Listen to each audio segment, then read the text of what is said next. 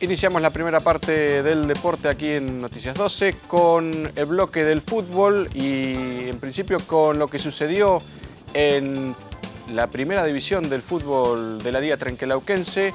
Vamos a repasar los resultados y algunos datos, por ejemplo. Eh, los tres equipos que ganaron, Argentino, Barrio y Huracán, fueron los equipos que jugaron de local. Eh, dos de ellos empezaron perdiendo.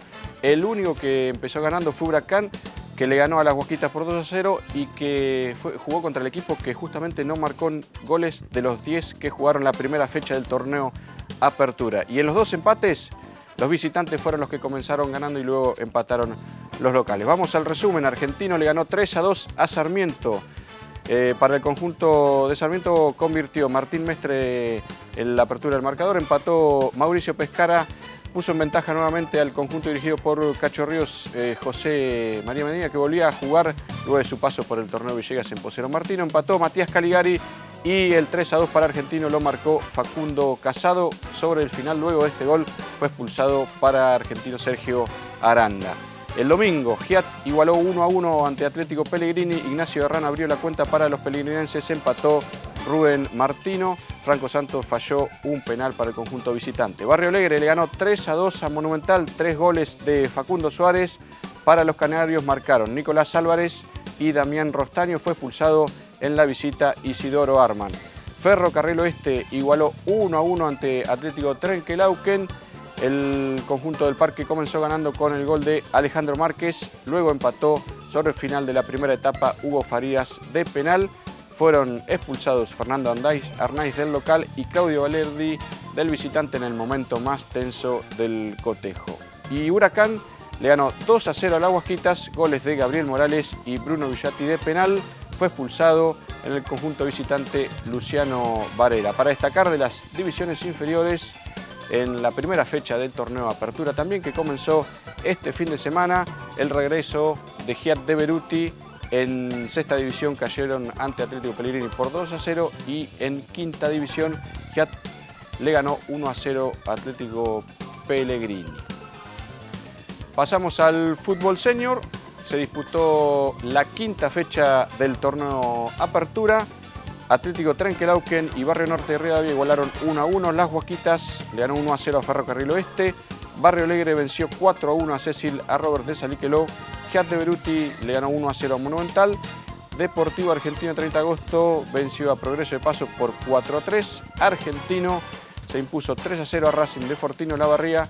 Ferro de Tres Lomas cayó como local ante Atlético Rivadavia por 1 a 0 y victoria de Independiente de Rivadavia 3 a 1 sobre Tres Llantas. Las posiciones hasta aquí, las principales, Argentino e Independiente de Rivadavia 13 unidades, Las Huasquitas 12 y Deportivo Argentino 10 puntos. A propósito del fútbol señor, escuchamos a Marcelo Dufo que tiene una recomendación para todos nosotros.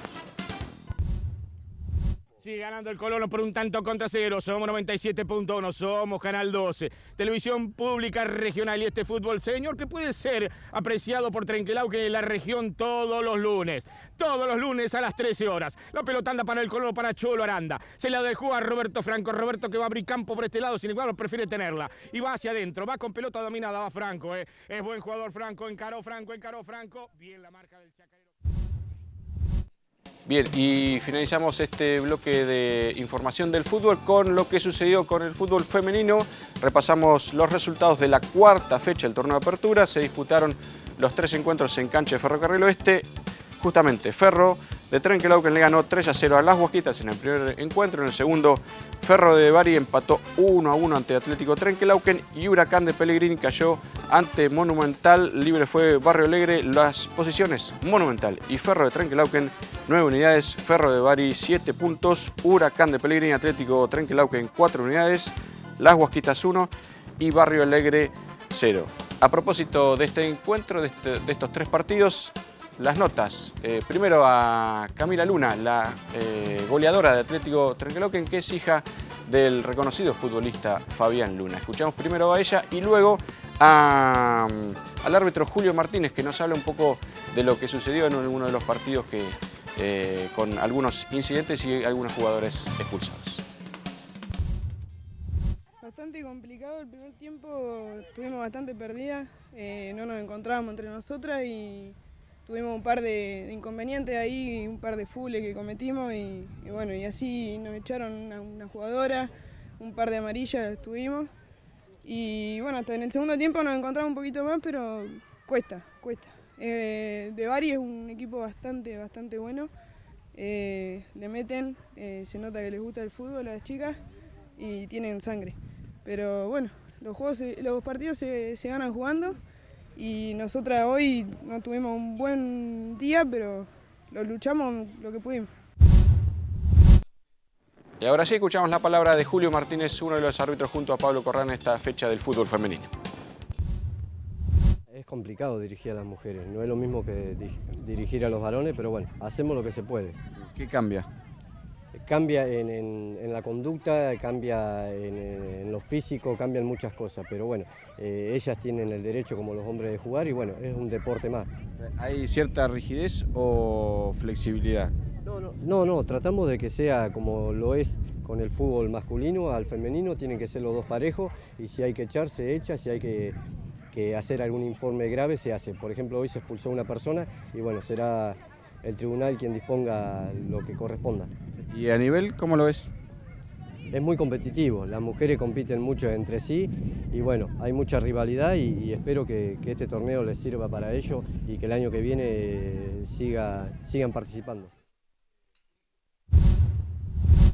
En breve, más deportes en Noticias 12 presentaron Deportes 12, Cumeco y Ricardo Saco, Pinturerías MB y Acun, Zoom Deportivo y Municipalidad de Trenquelauquen, Peguajó, Tres Lomas, Rivadavia, Saliqueló y Pellegrini.